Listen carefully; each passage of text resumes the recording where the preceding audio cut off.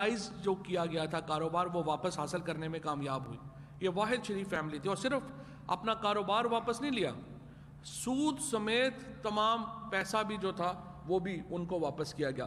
फिर वो एक कहानी जो है, जो पचासी में या वज़ीर अला कैसे बने, फिर वज़ी अजम कैसे बने, ये सारी कहानी जो है, वो आपके सामने है और उनसे जितना पैम्पर उनको किया गया, वो भी आपके सामने है। उसके बाद मसला कहाँ पे आया? मसला यहाँ पे आया कि जब हिंदुस्तान और इसराइल की लॉबी ने नवाज़ शरीफ को काबू कर लिया और नवाज़ शरीफ अपने मौसनों को तो भूल गए, लेकिन वो इसराइल और इंडिया की लॉबी का हिस्सा बन गए। अभी आपने देखा इंडिया में नई किताब आई है। उन्होंने कहा कि कारगिल की जंग के दौरान नवाज़ शरीफ ने पाँच बार वाजपेयी साहब से बात की। अभी जब पाकिस्तान की फ़ौज ने, पाकिस्तान के नेशनल सिक्योरिटी के इदारों ने कंफर्म किया कि इंडिया पाकिस्तान के ऊपर हमले की तैयारी कर रहा है तो मोदी साहब का ख़त आ गया नवाज़ शरीफ साहब के नाम, उनकी वालदा की इंतकाल पे। अमूमी हालात में ये एक बिल्कुल नॉर्मल बात है, और कोई ऐसी बात नहीं है, अगर कोई ख़त लिखे और एक जो है अफसोस का ख़त आता है, अमूमी बात है।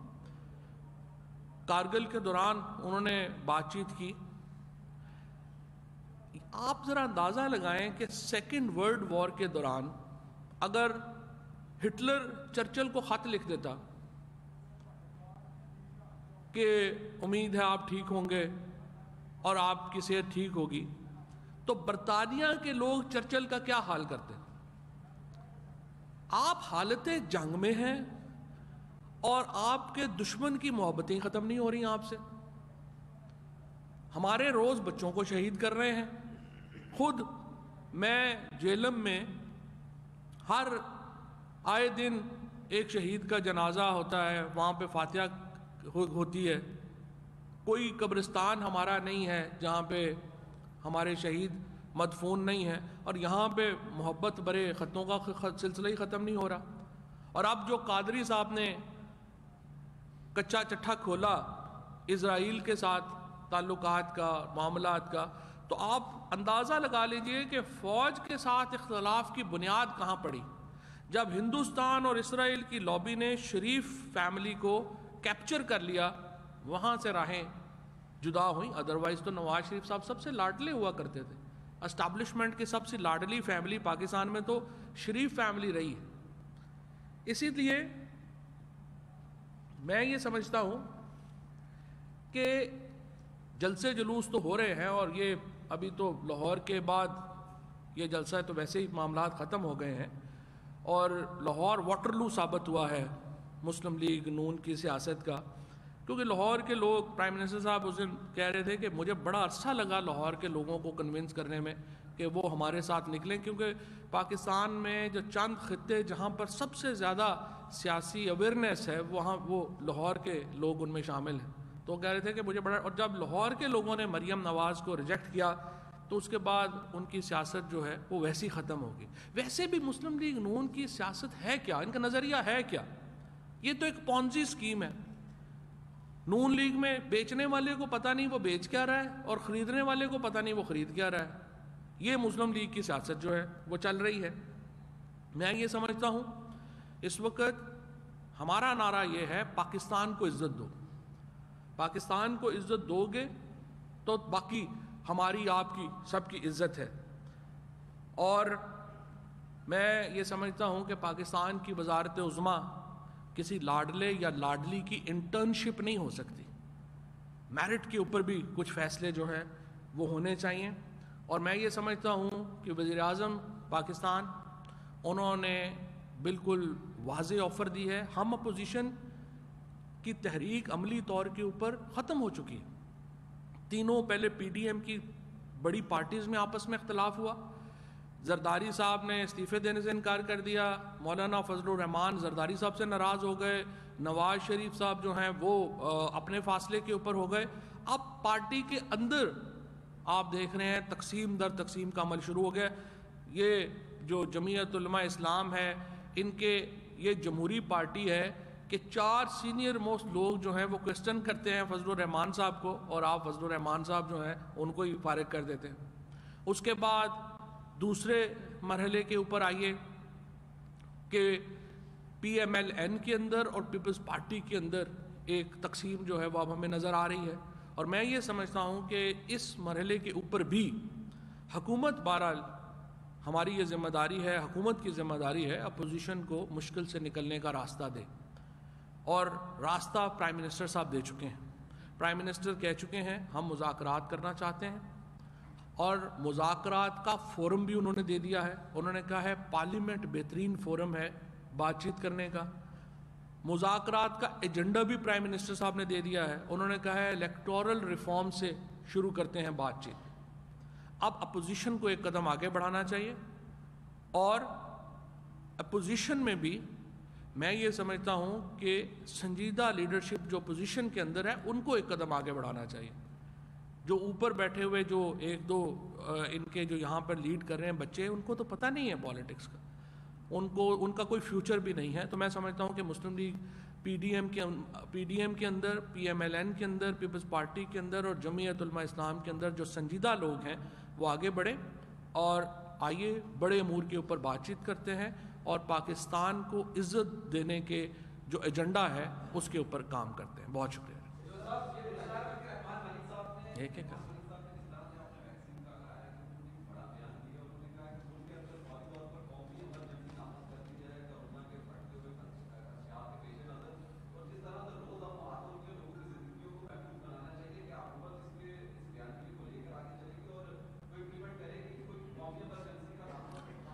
पाकिस्तान ने कोरोना को बहुत बेहतरीन तरीके से टैकल किया है। अब तक दुनिया में पाकिस्तान की जो कोरोना से मुतलक एफ़र्ट्स हैं, उनकी तारीफ़ हो रही है। डब्ल्यू एच ओ हो, अमरीका हो, वर्ल्ड बैंक के इकोनॉमिस्ट हों, पाकिस्तान ने तो एक मुआजा दिखाया है। और इन इमरान खान की क़्यादत के क़्यादत के अंदर पाकिस्तान की कौम इन इस दूसरे मरहले में भी कामयाबी से निकलेगी। मैं सिर्फ़ आपको ये भी बताना चाहता हूँ देखिए, पहले मरहले में जब 26 फरवरी को केसेस आए थे, हम अपना कुछ भी नहीं बना रहे थे। सो हमारे यहाँ शॉर्टेजेस हो गई थी हर चीज़ की। हमारे पास पाँच ख़त्म हो गए थे, हमारे पास सैनिटाइज़र ख़त्म हो गए थे, कई हॉस्पिटल्स में वेंटिलेटर्स नहीं थे। आज, अल्हम्दुलिल्लाह, जब दूसरा मरहला जब आया है, उसमें तो हम हर चीज़ अपनी खुद बना रहे हैं। हम एक्सपोर्ट कर रहे हैं हर चीज़। एक बहुत बड़ी कामयाबी है पाकिस्तान की कि आज वो ये एक बला तो है और अल्लाह हमें महफूज रखे और अल्लाह हमें जल्द इस अजाब से नजात दे। लेकिन ये है कि जो इसमें, इस वक्त जो हमारी अपनी एफ़र्ट्स हैं, उनमें तो पूरी दुनिया ने हमें जो है वो प्रेज़ किया। कसम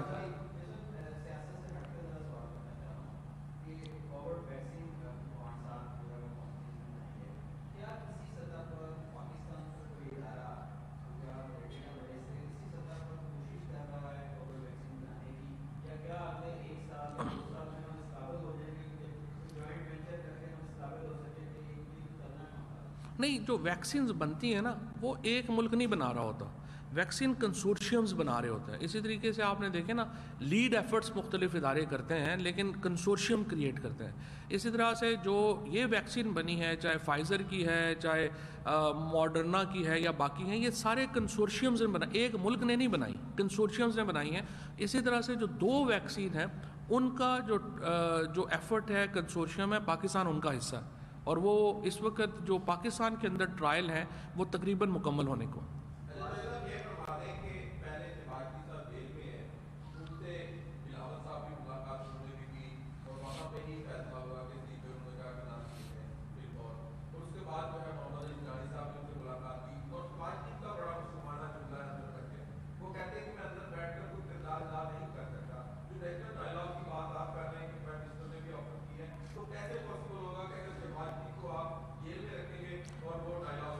देखिए शहबाज शरीफ साहब को हमने जेल में नहीं रखा हुआ। वो तो अपनी बेल कैंसिल होने के ऊपर जो है, वो जेल में गए हुए हैं और उसकी कानूनी जो फॉर्मेलिटीज़ हैं, वो वो पूरी करते हैं तो वो बाहर भी आ सकते हैं। और इसी तरीके से जो नेशनल डायलॉग है, वो इश्यूज़ के ऊपर होना चाहिए, शख्सियात के ऊपर तो नहीं होना चाहिए। अगर आप जो इस वक्त जो मसला है, वो है ही ये कि इस वक्त शख्सियात के इर्द गिर्द पॉलिट जो अपोजिशन की सियासत है, वो शख्सियात के इर्द गिर्द घूम रही है इशूज़ के इर्द गिर्द नहीं घूम रही। अगर आप इशूज़ पे आ जाएँगे तो फिर ये मसले नहीं होंगे। अंसारी साहब।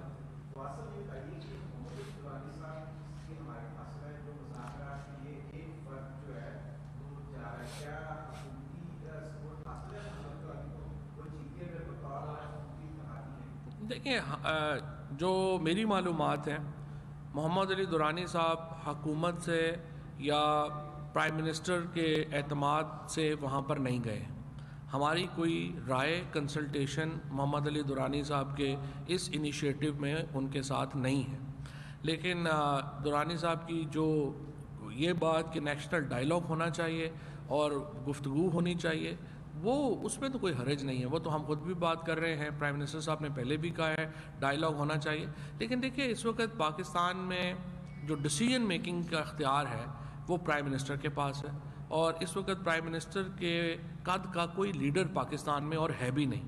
तो इसलिए जो भी पाकिस्तान में एफर्ट होनी है, उसका हतमी फैसला तो इमरान खान नहीं करना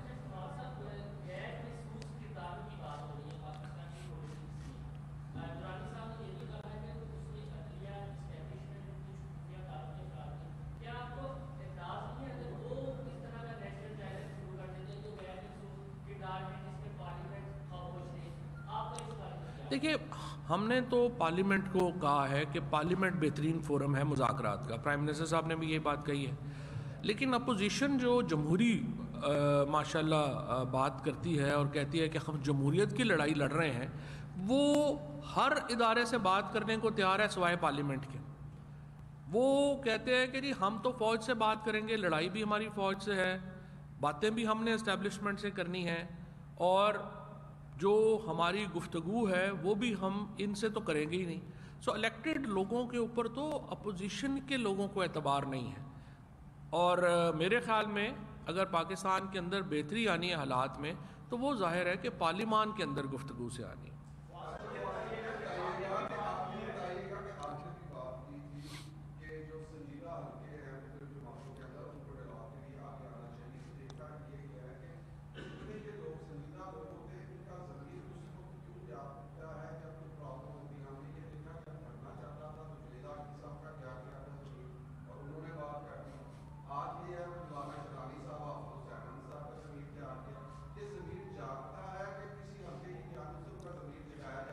देखिए, बात यह है कि जब जो शेरानी साहब हैं या जो भी बाकी लोग हैं उन्होंने ये बात वो अब तक तो नहीं, अब उन्होंने नहीं तो नहीं की है। पहले से ही मामला चल रहे हैं। जो उन्होंने पहले भी ये बात कही थी फजलरहमान साहब से जो इख्तलाफ है वो क्या है? फजल, उनका इख्तलाफ क्या है? हाफज हुसैन अहमद साहब ने आज क्या कहा? उन्होंने कहा है कि देखिए फजलरहमान साहब अपने बेटे और भाइयों को पार्टी सौंप देना चाहते हैं। तो ये तो कोई तरीका नहीं है। मैं पहले ही नुक्ते में मैंने अर्ज़ किया था कि पाकिस्तान में हम पूरी दुनिया बादशाहतों से आगे निकल रही है। हमारी पॉलिटिकल पार्टीज़ कह रही हैं कि नहीं, हमने बादशाहतें बहाल करनी है। सो जे यू आई के अंदर भी बुनियादी इख्तलाफ इसी बात के ऊपर है कि आप पार्टी के स्ट्रक्चर को जमहूरी बनाने के बजाय आप उसको आमराना बना रहे हैं और आगे अपनी फैमिली में पॉलिटिक्स ला रहे हैं। यही उनका बुनियादी मसला है।